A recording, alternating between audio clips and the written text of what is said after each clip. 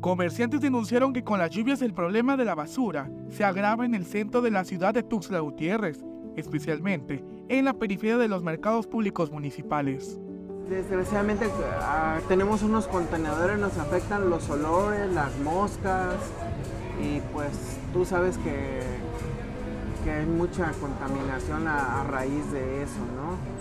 y cuando llueve, por ahí dejan la, basura nada más y se llenan los contenedores, pues este, ahora sí que, eso viene a tapar las coladeras y son inundaciones.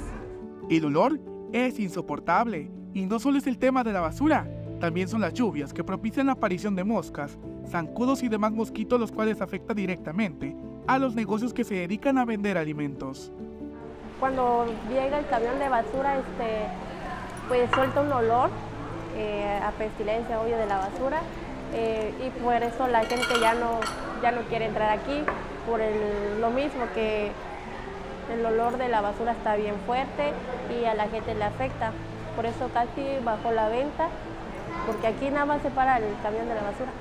Sí, bastante, porque pues hay también mucho dengue también a, raíz de eso, de la basura y pues toda la contaminación afecta hicieron énfasis en la desatención de este problema de parte de las autoridades municipales, las cuales, desde varias administraciones, han tenido latente esta problemática que en la zona del centro es más evidente.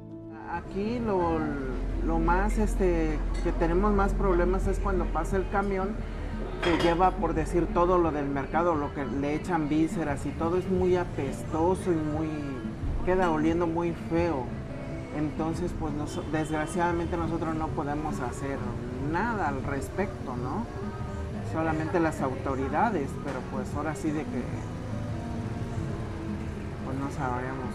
Hemos eh, hecho eso, incluso el camión pasa dos veces al día a recoger la basura, pero ni así se dan abasto con tanta basura que sale del centro y peor si, si vienen las lluvias arrastra más basura de la novena sur, de donde están los ambulantes.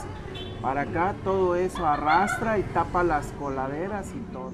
Invitan a la ciudadanía que circule en el centro a que sea más responsable con la basura que llevan y no la dejen botada en las calles de esta zona, la cual ve reflejada en sus ventas este problema.